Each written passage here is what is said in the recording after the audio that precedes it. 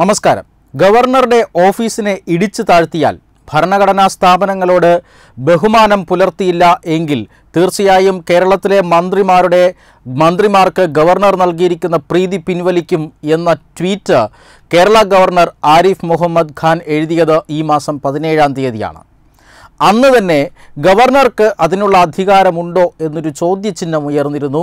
പക്ഷേ തത്വമയി ന്യൂസ് അന്ന് നൽകിയ റിപ്പോർട്ടിലും വിലയിരുത്തിയത് അത്തരമൊരു വകുപ്പ് ഭരണഘടനയുടെ നൂറ്റി അറുപത്തിനാല് ഒന്ന് വകുപ്പിൽ ഇത് സംബന്ധിക്കുന്ന വിഷയം ഉണ്ട് അല്ലെങ്കിൽ ഇത് സംബന്ധിക്കുന്ന കൃത്യമായി രേഖപ്പെടുത്തിയിട്ടുണ്ട്. അതായത് ഒരു സംസ്ഥാനത്തെ മുഖ്യമന്ത്രിയെ നിയമിക്കുന്നത് ആ സംസ്ഥാനത്തെ ഗവർണറാണ്.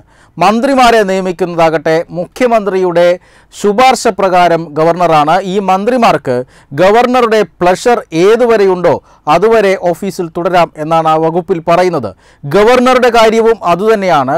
ഏതൊരു സംസ്ഥാനത്തെയും ഗവർണർക്ക് രാഷ്ട്രപതിയുടെ പ്രീതി അഥവാ പ്ലഷർ ഏതുവരെയുണ്ടോ അതുവരെ ഓഫീസിൽ തുടരാം എന്ന് തന്നെയാണ്.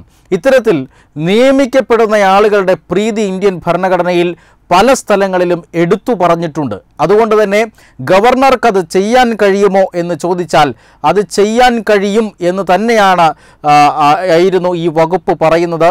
ഈ വിലയിരുത്തലുകൾ കേരളത്തിൽ പല ഭരണഘടനാ വിദഗ്ധരും നടത്തിയിട്ടുണ്ട്. അതുകൊണ്ട് തന്നെ പുതുതായി ധനമന്ത്രി കെ എൻ ബാലഗോപാലിനെതിരെ പ്രീതി പിൻവലിച്ചുകൊണ്ട് വിഡ്രോവൽ ഓഫ് പ്ലഷർ നടത്തിക്കൊണ്ട് മുഖ്യമന്ത്രിക്ക് ഗവർണർ ആരിഫ് മുഹമ്മദ് ഖാൻ നൽകിയ കത്ത്.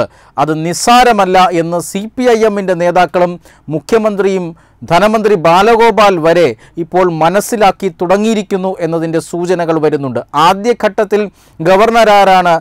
രാജാവാണോ? ജനാധിപത്യപരമായി തിരഞ്ഞെടുക്കപ്പെടുന്ന ആളുകളെ അല്ലെങ്കിൽ ജനപ്രതിനിധികളെ ഇങ്ങനെ വെല്ലുവിളിക്കാൻ ഗവർണർക്ക് അവകാശമില്ല. ഇല്ലാത്ത അധികാരം ഗവർണർ പ്രയോഗിക്കുകയാണ്. ഇത്തരത്തിലുള്ള കവലപ്രസംഗങ്ങൾ മുഖ്യമന്ത്രി അടക്കമുള്ളവർ നടത്തിയിരുന്നു. പക്ഷേ ഇപ്പോൾ കാര്യത്തിലേക്ക് അടുക്കുമ്പോൾ ഗവർണർ ചെയ്തത് ശരിയാണ്? നിയമപരമായി ശരിയാണ്. ഗവർണർക്ക് ഒരു പക്ഷേ നിയമപരമായ ഭരണഘടനാപരമായ പിന്തുണ ലഭിച്ചേക്കും എന്നൊരു സൂചന സി പി ഐ എം നേതാക്കളുടെ മനസ്സിൽ തന്നെ ഇപ്പോൾ ഉണ്ടായിട്ടുണ്ട്. അതിൽ ഏറ്റവും പ്രധാനപ്പെട്ട തെളിവാണ് ധനമന്ത്രി കെ എൻ ബാലഗോപാലിന്റെ കഴിഞ്ഞ ദിവസത്തെ പ്രസ്താവന. അദ്ദേഹം പറയുന്നത് മന്ത്രി എന്ന നിലയിൽ ഞാൻ ഇതിനോട് പ്രതികരിക്കുന്നില്ല. കാരണം മുഖ്യമന്ത്രിയും ഗവർണറും തമ്മിലുള്ള കത്തിടപാടാണ്. ഗവർണറുടെ കത്തിന്റെ മെറിറ്റിലേക്ക് കടന്ന് പ്രതികരിക്കാനില്ല എന്നാണ് ധനമന്ത്രി പറഞ്ഞത്. ഈ വിഷയത്തിന്റെ മെറിറ്റിലേക്ക് കടന്ന് ആരും പ്രതികരിച്ചിട്ടില്ല. കവലപ്രസംഗങ്ങൾ സി പി ഐ എമ്മും സി പി ഐ എമ്മിന്റെ നേതാക്കളും മന്ത്രിമാരും ഒക്കെ നടത്തിയിട്ടുണ്ട്. ഈ കവലപ്രസംഗങ്ങളുടെ അടിസ്ഥാനത്തിലാണ് ഗവർണർ ഇപ്പോൾ ഇത്തരത്തിലൊരു കത്ത് കൊടുത്തിട്ടുള്ളതും. ഇന്ത്യൻ രാഷ്ട്രീയത്തിൽ ഇന്ത്യയുടെ രാഷ്ട്രപതി ഒരിക്കൽ കേന്ദ്രത്തിലെ ഒരു സഹമന്ത്രി കേന്ദ്ര സഹമന്ത്രിയായിരുന്ന കെ കെ തിവാരിക്കെതിരെ അന്നത്തെ രാഷ്ട്രപതി ഇത്തരത്തിലൊരു വിഡ്രോവൽ ഓഫ് പ്ലഷർ കാണിച്ചുകൊണ്ട് പ്രധാനമന്ത്രി രാജീവ് ഗാന്ധിക്ക് അന്നൊരു കത്ത് നൽകിയിരുന്നു. ആ കത്തിനെ തുടർന്ന് കേന്ദ്ര സഹമന്ത്രിക്ക് രാജിവെക്കേണ്ടി വന്ന ഒരു സാഹചര്യവും ഇന്ത്യയുടെ ജനാധിപത്യ ചരിത്രത്തിലുണ്ട്. തീർച്ചയായും ഇന്ത്യൻ പ്രസിഡന്റിന് മന്ത്രിസഭയ്ക്ക് മേൽ അല്ലെങ്കിൽ പ്രധാനമന്ത്രിക്ക് മേൽ ഒക്കെ ചില നിയന്ത്രണങ്ങളുണ്ട് ചില അധികാര പരിമിതികളുണ്ട്. പക്ഷേ ഗവർണർക്ക് അതുമില്ല. ഗവർണർ ഒരു ഈ ഈ രാഷ്ട്രപതിയുടെയും അതുപോലെ തന്നെ കേന്ദ്ര സർക്കാരിന്റെയും പ്രതിനിധിയാണ് സംസ്ഥാനത്തെ ജനപ്രതിനിധികൾ. അതിരുവിടുന്നില്ല ഭരണഘടനയ്ക്ക് അനുസരിച്ച് പ്രവർത്തിക്കുന്നു എന്നൊക്കെ ഉറപ്പുവരുത്താനുള്ള അധികാരവും തീർച്ചയായും ഗവർണർക്കുണ്ട്. ആ അധികാരങ്ങൾ ആ പ്രത്യേക ഘട്ടങ്ങളിൽ പ്രയോഗിക്കേണ്ടി വരും. കേരള ഗവർണർക്ക് ആ അധികാരം പ്രയോഗിക്കേണ്ടി വന്നത് തീർത്തും ചീഞ്ഞു നാറുന്ന ഒരു ഭരണ സംവിധാനമായി കേരളത്തിലെ സർക്കാർ മാറിയതുകൊണ്ടാണ്. അതുകൊണ്ട് തന്നെ ഗവർണർക്ക് ഭരണഘടനാദത്തമായ അധികാരം ഉപയോഗിച്ചുകൊണ്ട് തന്നെയാണ് ഈ കത്ത് നൽകപ്പെട്ടത് എന്നൊരു തിരിച്ചറിവ് ഇന്ന് സി പി ഐ എമ്മിന് ഉണ്ടായിട്ടുണ്ട്. കാരണം പ്രധാന മുഖ്യമന്ത്രി പിണറായി വിജയനെ സംബന്ധിച്ചിടത്തോളം ആരിഫ് മുഹമ്മദ് ഖാന്റെ രാഷ്ട്രീയ പശ്ചാത്തലം അല്ലെങ്കിൽ രാഷ്ട്രീയ പാരമ്പര്യത്തെക്കുറിച്ച് അറിവില്ലാത്തത് കൊണ്ടായിരിക്കാം ഒരുപക്ഷെ ഇത്തരത്തിൽ ഗവർണറോട് കവലപ്രസംഗങ്ങൾ നടത്തി കൊമ്പുകോർക്കുന്നത്. കേരള ഗവർണർ ആരിഫ് മുഹമ്മദ് ഖാൻ വർഷങ്ങളുടെ രാഷ്ട്രീയ പാരമ്പര്യമുള്ള വ്യക്തിയാണ് ഇരുപത്തിയാറാം വയസ്സിൽ എം എൽ എ ആയ വ്യക്തിയാണ് എം പി ആയി പലതവണ തിരഞ്ഞെടുക്കപ്പെട്ടിട്ടുണ്ട്. കേന്ദ്ര മന്ത്രിസഭയിൽ അംഗമായിരുന്നു. അങ്ങനെ ദീർഘകാല മന്ത്രിപദത്തിലിരുന്ന് പരിചയമുണ്ട്. ഭരണഘടനാപരമായ അഗാധമായ ആഴമുണ്ട്. അദ്ദേഹം പറയുന്നത് എന്തും നിയമത്തിന്റെയും ഭരണഘടനയുടെയും വകുപ്പുകൾ കോട്ട് ചെയ്തുകൊണ്ടാണ്. അതുകൊണ്ട് തന്നെ ആരിഫ് മുഹമ്മദ് ഖാനെ ആദ്യഘട്ടത്തിൽ വില കുറച്ച് കണ്ടോ മുഖ്യമന്ത്രി? എന്നൊരു സംശയം ഉയരുന്നുണ്ട്. കേരളത്തിലെ മുഖ്യമന്ത്രിയെ സംബന്ധിച്ചിടത്തോളം കാരണം ഗവർണർ ആരിഫ് മുഹമ്മദ് ഖാനെ ചോദ്യം ചെയ്യാൻ തക്ക രാഷ്ട്രീയ പാരമ്പര്യമൊന്നുമില്ല എന്ന് നമുക്കറിയാം.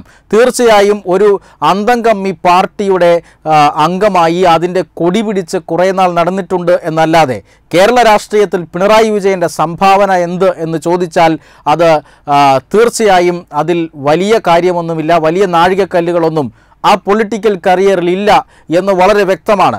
അദ്ദേഹം ജനപ്രതിനിധിയാകുന്നത് പാർട്ടിയുടെ പാർട്ടി ഗ്രാമങ്ങളുടെ ഈറ്റില്ലമായ കണ്ണൂർ ജില്ലയിൽ നിന്ന് മാത്രമാണ്. മൂന്ന് തവണ കൂത്തുപറമ്പിൽ നിന്നും ഒരു തവണ അദ്ദേഹം പയ്യന്നൂരിൽ നിന്നും രണ്ട് തവണ ധർമ്മടത്തു നിന്നുമാണ് പിണറായി വിജയൻ വിജയിച്ചു വരുന്നത്. മറ്റേതെങ്കിലും മണ്ഡലത്തിൽ നിന്ന് വിജയിക്കാം എന്നൊരു ആത്മവിശ്വാസം പോലും ഇല്ലാത്ത വ്യക്തിയാണ് ഇന്ന് പിണറായി വിജയൻ എന്ന് മാത്രമല്ല കേരളത്തിൽ വി എസ് അച്യുതാനന്ദൻ എന്ന ജനകീയ കമ്മ്യൂണിസ്റ്റ് നേതാവിനെ മുന്നിൽ നിർത്തി. അദ്ദേഹം ആയിരിക്കും മുഖ്യമന്ത്രി പദമെന്ന് ജനങ്ങൾക്ക് സൂചന നൽകിയതിന് ശേഷമാണ് ഭരണത്തിൽ ഈ അധികാരം പിടിച്ചെടുത്തതും അതിനുശേഷം മുഖ്യമന്ത്രി പദത്തിലേക്ക് പിൻവാതിലിലൂടെ എത്തുന്നതും. അങ്ങനെ ഒരു ചരിത്രം കൂടി പിണറായി വിജയനുണ്ട്. അത്തരത്തിൽ ആരിഫ് മുഹമ്മദ് ഖാനുമായി തട്ടിച്ചു നോക്കിയാൽ രാഷ്ട്രീയത്തിൽ വെറും ശിശു മാത്രമാണ് പിണറായി വിജയൻ. അതുകൊണ്ട് തന്നെ ആരിഫ് മുഹമ്മദ് ഖാൻ പറയുന്ന കാര്യങ്ങൾക്ക് രാജ്ഭവൻ നടത്തുന്ന അല്ലെങ്കിൽ രാജ്ഭവൻ മുന്നോട്ട് വിലയിരുത്തുന്ന ഓരോ കാര്യങ്ങളും ഭരണഘടനാപരമായി ശരിയാവുകയാണ്. സുപ്രീം കോടതി വിധി വി സിമാരുടെ നിയമനത്തിന്റെ കാര്യത്തിൽ സുപ്രീം കോടതി വിധി ഗവർണറുടെ നിലപാടിനെ അക്ഷരം പ്രതി ശരിവയ്ക്കുന്നതാണ്. അതുകൊണ്ട് തന്നെ ധനമന്ത്രി കെ എൻ ബാലഗോപാലിലുള്ള ഗവർണറുടെ പ്ലഷർ പിൻവലിച്ചുകൊണ്ട് നൽകിയിട്ടുള്ള ഈ കത്ത് ഇപ്പോൾ ഗൗരവമായി എടുക്കേണ്ട ഗതിയിലാണ് ഇപ്പോൾ പിണറായി വിജയൻ ഭരണകൂടം കാരണം കവലപ്രസംഗങ്ങൾ നടത്തുന്നത് പോലെ ജനങ്ങളുടെ കയ്യടിക്ക് വേണ്ടി മൈക്കിൽ നിന്ന് എന്തും വിളിച്ചു പറയുന്നത് പോലെ അല്ല ഗവർണറുടെ ഈ നിലപാടിനെ പ്രതിരോധിക്കേണ്ടതെന്ന ബോധ്യം സി പി ഐ എമ്മിന്റെ ചില നേതാക്കൾക്കെങ്കിലും ഇപ്പോൾ വന്നിരിക്കുന്നു. അതുകൊണ്ട് തന്നെ കെ എൻ ബാലഗോപാൽ അടക്കമുള്ളവർ ഇപ്പോൾ വളരെ ജാഗ്രതയോടുകൂടിയാണ് പ്രതികരിക്കുന്നത്. രാജ്ഭവൻ ഈ കത്തിന്റെ അടുത്ത ഘട്ടത്തിലേക്ക് കടന്നിരിക്കുന്നു. ധനമന്ത്രി രാജിവെക്കേണ്ടി വരും എന്ന് തന്നെയാണ് രാജ്ഭവൻ വിശ്വസിക്കുന്നത്. അങ്ങനെ രാജിവെച്ചിട്ടില്ല എങ്കിൽ തീർച്ചയായും അവിടെ ഒരു ഭരണഘടനാ പ്രതിസന്ധി ഉണ്ടാകും. രാജ്ഭവൻ ഈ ധനവകുപ്പുമായി ബന്ധപ്പെട്ട ബില്ലുകളോ ഓർഡിനൻസുകളോ ഒന്നും അംഗീകരിക്കില്ല. ധനമന്ത്രിയെ ധനവകുപ്പിനെ ബഹിഷ്കരിക്കാൻ ഉള്ള നിലയിലേക്ക് രാജ്ഭവൻ ചുവടുവെച്ചു കഴിഞ്ഞു എന്നാണ് ഏറ്റവും പുതിയ വാർത്തകൾ. ഗവർണറും സർക്കാരും തമ്മിലുള്ള പോര് എന്തായാലും മൂർച്ഛിക്കുകയാണ്. ഗവർണറുടെ പ്രീതി വീണ്ടെടുക്കാനുള്ള നടപടികൾ ഒരുപക്ഷെ പിണറായി വിജയൻ നടത്തിയേക്കും. ഇല്ല എങ്കിൽ തീർച്ചയായും ഉടനെ രാജ്ഭ രാജ്ഭവന്റെ ഈ കത്തിന്റെ അടിസ്ഥാനത്തിൽ ധനമന്ത്രി കെ എൻ ബാലഗോപാലിന് രാജിവെക്കേണ്ടതായ ഒരു രാഷ്ട്രീയ സാഹചര്യം കേരളത്തിൽ ഉരുത്തിരിഞ്ഞു വരും എന്ന് തന്നെയാണ് രാജ്ഭവൻ കേന്ദ്രങ്ങൾ വിശ്വസിക്കുന്നത്. Web desk Tatwamayi news. Powered by Demos furniture ലോകോത്തര ഫർണിച്ചറുകളുടെ വമ്പൻ അൺലോക്ക്